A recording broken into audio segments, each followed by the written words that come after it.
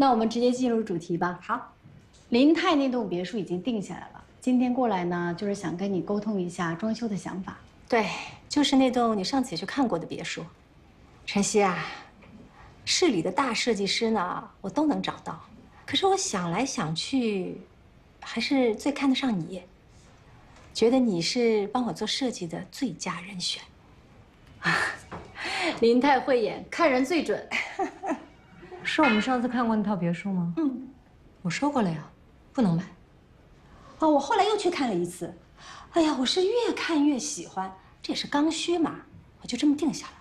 嗯，既然你问我意见，问了又不采纳，又何必再问呢？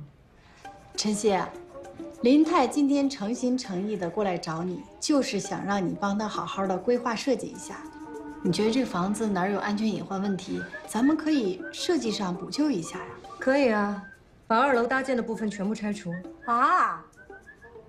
这怎么可能？我就是冲着这多加的五十平米没有给我算面积才买的。二楼搭建的楼板，简单的混凝土浇筑，五十平米没有支撑的悬挑是非常危险的。啊，这个事情呢，我后来特地找了好几个人都问过了，他们都说啊，像那样的加建啊，多了去了，没事儿的啊，真没事儿。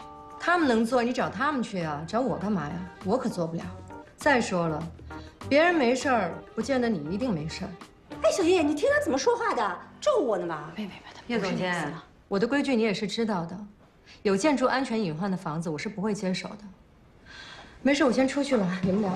晨曦，你是不是刚刚在电梯里听到我说的话，对我不满意才拒绝的？可是我说的都是事实啊。